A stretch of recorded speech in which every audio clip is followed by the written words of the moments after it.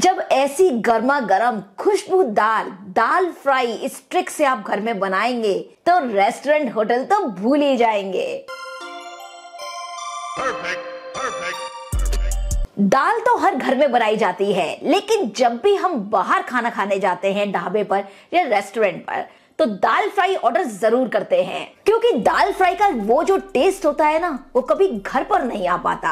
आज खोलने वाली हूँ वो सीक्रेट राज होटल और रेस्टोरेंट वाली दाल फ्राई तड़का का, कि जिसके बाद आप होटल, रेस्टोरेंट, ढाबा सब भूल जाएँगे। दाल फ्राई तो इस तरह बनाकर हमेशा घर में खाएँगे। वीडियो शुरू करने से पहले फ्रेंड्स, आप सभी लोगों से निवेदन है, अगर आपको मेरे वीडियोस अच्छे लगते हो तो प्लीज़ वीडियो को लाइक, शेयर और आपके अपने चैनल कुक विद पारुल को सब्सक्राइब करना ना भूलें। रेस्टोरेंट, ढाबा स्टाइल, ज़बरदस्त टेस्टी दाल फ्राई तड़का बनाने के लिए यहाँ पर मैंने ली है एक कप अरहर की दाल, जिसे हम तूर दाल भी बोलते हैं।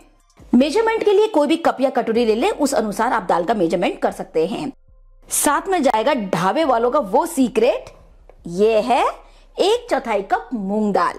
जब हम दाल फ्राई बनाते हैं सिर्फ़ अरहर दाल से तो आपने अक्सर देखा होगा, ज़्यादा सीटी ली तो दाल घुट जाती है। या फिर कम सीटी ली तो दाल खड़ी खड़ी रहती है, बहुत ज़्यादा पानी ऊपर आ जाता है। वो देते हैं थोड़ी सी मूंग दाल डालकर उसमें बाइंडिंग जिसकी वजह से दाल का दाना भी दिखता है, पर दाल सॉफ्ट भी होती है, साथ के साथ बंदी बंदी होती है। वो होती है मूंग दाल के कारण। आप डालकर देखेगा हंड्रेड परसेंट बेस्ट दाल फ्राई आपकी तैयार होगी। एक बोल में हम अरहर की दाल और मूंग दाल दोनों डाल करके दालों पर होती है, बहुत सारी डस्ट केमिकल भी लगाया जाता है स्टोर करने के लिए और साथ के साथ पॉलिश भी होती है। तो इसलिए बढ़िया से दो से तीन बार अच्छे से धो लें और इस पानी को फेंक दें, जिससे कि सारी गंदगी दाल की निकल जाएगी। और अच्छे से धोने के बाद हम दाल को भिगोएँगे लगभग 20 से 25 मिनट के लिए। बहुत ज़्यादा देर के लिए नहीं, बस इतना बार बहुत है। इससे क्या होगा कि दाल जल्दी पक भी जाएगी, अच्छे से डाइजेस्ट हो जाएगी। 20 से 25 मिनट हो गए हैं और ये देखिए, दाल बिल्कुल बढ़िया से फूल गई है। तो ये सारा पानी इसका निकाल देंगे। अब आप गैस पर चढ़ाएँ एक कुकर। कुकर में हम अपनी सारी भीगी हुई दाल को डाल देंगे। अब यहाँ पर डालेंगे थोड़ा सा पानी, बस इतना भर कि दाल बिल्कुल बढ़िया से डूब जाए। यहाँ पर बहुत ज़्यादा पानी बिल्कुल नहीं डालेंगे, क्योंकि आगे अगर हमें गाढ़ा लगता भी है तो हम बाद में पानी डालकर कंसिस्टेंसी को एडजस्ट कर सकते हैं। ज़्यादा यहाँ डाल देंगे तो दाल ज़्यादा घुट जाएगी, रबड़ी जैसी बन जाएगी। अब इसमें हम डालेंगे एक छोटी चम्मच नमक, एक चौथाई छोटी चम्मच हल्दी।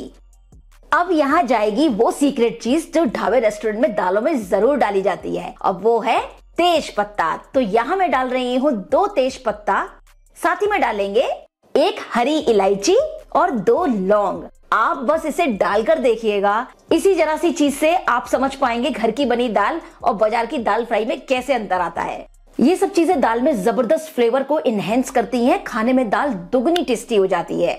अब हम कुकर पे लगाएँगे लिड लेकिन लिड लगाने से पहले इसमें आप डाल दीजिए एक छोटी चम्मच घी, और थोड़ा सा घी ना इस ढक्कन की इस जगह पर आप लगा दीजिए। इससे क्या होगा? दाल का पानी बाहर नहीं निकलेगा विसल आते वक्त। चाहे तो ऑयल भी यूज़ कर सकते हैं। तो चलिए बस इस पर लगाते हैं लिड और लिड लगाकर मीडियम फ्लेम पर सिर्फ़ हमें लेनी होगी डेढ़ सीटी। एक सीटी पूरी और बस दूसरी सीटी हल्की सी आते ही बंद कर देंगे गैस को। और पूरी तरह से जब प्रेशर निकल जाएगा, तभी हम लिट को हटाएँगे। बहुत ज़्यादा इसमें विसिल की ज़रूरत बिल्कुल नहीं पड़ती, क्योंकि अरहर की दाल जल्दी गल भी जाती है और हमें पूरी गली हुई दाल नहीं चाहिए। डेढ़ विसिल के करीब इसमें आ गई थी, मैंने गैस को बंद कर दिया और ये देखिए पूरा प्रेशर निकल गया है और लिट को हटाएँगे। परफेक्ट। ये आप देख सकते हैं कि दाल हमारी बिल्कुल भी ज़्यादा गली नहीं है, दाना अभी भी दिख रहा है, पर सॉफ्ट भी हो गया है। ऐसा नहीं है कि दाल नहीं पकी। बस, इस बात का हमें बहुत ख्याल रखना है एक बढ़िया दाल फ्राई बनाने के लिए। दाल अगर यहाँ पर आपको ज़्यादा गाढ़ी भी लगे तो कोई परेशानी नहीं, बाद में हम पानी डालकर एडजस्ट कर लेंगे। तो चलिए फटाफट बनाते हैं ज़बरदस्त दाल फ्राई का वो स्पेशल तड़का। सबसे पहले गैस पर हम चढ़ाएँगे कढ़ाई या पैन। फ्लेम को रखेंगे यहाँ पर मीडियम और इसमें हम डालेंगे दो बड़ा चम्मच घी।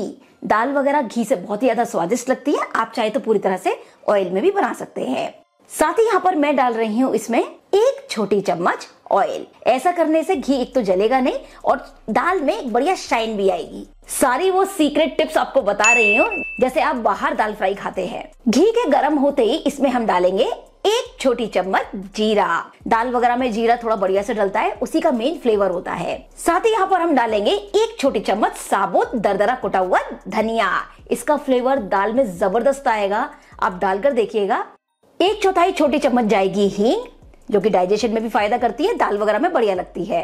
और अब यहाँ पर डालेंगे दो सूखी लाल मिर्च। बढ़िया सी खुशबू आ रही है। इस स्टेज पर हम इसमें डालेंगे दो प्याज। तो यहाँ पर प्याज को मैंने इस तरह से चॉप कर लिया है। सारे प्याज यहाँ पर डालकर फ्लेम को तुरंत ही हाई कर देंगे। हाई फ्लेम पर ही प्याज को हमें यहाँ पर भूनना होगा, जिससे जो प्याज है वो पानी नहीं छोड़ेगी और बढ़िया से भुन जाएगी। तो यहाँ पर जो हमें प्याज को भूनना है, बस हल्का गुलाबी बनता है। ज़्यादा बिल्कुल नहीं भूनेंगे, चम्मच से चलाते ज़रूर रहेंगे, जिससे कि जो प्याज है वो सब तरफ़ से समान भुनेगी। और प्याज में एक जैसा कलर आएगा। छोटी सी चीज़ है करके देखिएगा, बहुत फ़र्क पड़ता है खाने में। ये देखिए, आप देख सकते हैं कि प्याज हल्की सी भुन गई है, हल्का गुलाबीपन आ गया है। तो बस इसी स्टेज पर इसमें जाएगा। 10-15 कली लहसुन की इस तरह से चॉप करके मैंने ली है, यहीं पर इसको डाल देंगे। लहसुन थोड़ा ज़्यादा बढ़िया लगता है, दाल में अच्छा फ्लेवर देता है। और साथ ही यहाँ पर हम इसमें डालेंगे दो से तीन हरी मिर्च बारीक कटी हुई और एक इंच अदरक का टुकड़ा इस तरह से चॉप करके। अब यहीं पर लहसुन, हरी मिर्च, अदरक को बढ़िया से थोड़ी देर पका लेंगे, जिससे इनका कच्चापन निकल जाए। इसलिए मैंने प्याज को पहले ज़्यादा नहीं भुना था, क्योंकि अभी प्याज इन सब के साथ भी भुन जाएगी। इसी स्टेज पर इसमें मैं डाल रही हूँ आधा छोटी चम्मच हल्दी, एक छोटी चम्मच कश्मीरी लाल मिर्ची पाउडर। इससे क्या होगा कि जो हमारी दाल है, उसमें रंगत बहुत बढ़िया आएगी। दाल बढ़िया कलर पकड़ लेगी तो जो उसकी रौनक होगी, बिल्कुल होटल रेस्टोरेंट जैसी होगी। तो यहाँ पर मैंने कश्मीरी लाल मिर्ची पाउडर लिया है, ये रंग अच्छा देती है और इसमें मिर्च कम होती है। आप ज़्यादा पसंद करें मिर्च तो थोड़ी सी ज़्यादा भी डाल सकते हैं। अच्छे से करेंगे सभी चीज़ों को मिक्स मतलब यहाँ पर हल्दी और जो हमने मिर्च डाली है, उसको सिर्फ़ मिक्स भर करना है, बहुत ज़्यादा इसको भूनना नहीं है, वरना कालापन आ जाएगा। बस, बढ़िया से सभी चीज़ें भुन गई है तो इस स्टेज पर मैं इसमें डाल रही हूँ टमाटर। तो यहाँ पर मैंने लिए हैं तीन छोटे साइज़ के टमाटर, जिनको मैंने रफली चॉप कर लिया है। तो टमाटर भी यही डाल देंगे। अब टमाटर डाले हैं तो साथ में डालेंगे नमक। फ्लेम को कर देंगे, थोड़ा सा हाई मीडियम हाई फ्लेम पर टमाटर को बढ़िया से पकाएँगे। दाल फ्राई वगैरह ऐसी चीज़ें हैं, जो जनरली घर में सबको पसंद आती हैं। बाहर हम जाते हैं, जब भी खाना खाने, ढाबा हो या रेस्टोरेंट हो, हमेशा दाल फ्राई ज़रूर ऑर्डर करते हैं। दाल एक ऐसी चीज़ है ना, इस तरह की दाल हो तो मन नहीं भरता है। कभी भी आप हफ़्ते में तीन चार बार भी बना रहे ना तो भी चलेगा। चलिए तो आप ये देख सकते हैं कि टमाटर भी हमारे मशी से हो गए हैं, तेल छोड़ना शुरू कर दिया है। इसी स्टेज पर इसमें हम डालेंगे थोड़े से फ्लेवरफुल मसाले। तो मैं यहाँ डाल रही हूँ दो छोटे चम्मच धनिया पाउडर, एक छोटी चम्मच जीरा पाउडर। अच्छे से मसालों को भी मिक्स करेंगे। थोड़ा सा डाल रही हूँ पानी जिससे मसाले जले नहीं। बढ़िया से जो टमाटर और मसाले हैं वो मिक्स पूरा ऑयल छोड़ दे। बढ़िया से सब चीज़ों ने घी छोड़ दिया है। इस स्टेज पर हम डालेंगे हमारी तैयार उबली हुई दाल। अब यहाँ पर अगर आपको कंसिस्टेंसी गाढ़ी लगे तो यहाँ आपको डालना है गर्म पानी। बिल्कुल भी ठंडा नहीं डालेंगे, जिससे कि जो कुकिंग प्रोसेस है दाल का वो चलता रहे। एकदम ठंडा डालेंगे तो स्वाद खराब हो जाएगा दाल का। तो बस थोड़ा सा गर्म पानी डालकर आप अपने अनुसार कितनी गाढ़ी रखनी है, कितनी पतली रखनी है, दाल की कंसिस्टेंसी को एडजस्ट कर सकते हैं। अच्छे से कर देंगे सभी चीज़ों को मिक्स तो बस दाल में ले लेंगे एक बॉईल और बनाते हैं दाल के लिए वो स्पेशल ऊपर वाला तड़का जो ज़बरदस्त टेस्ट देगा दाल के फ्लेवर में।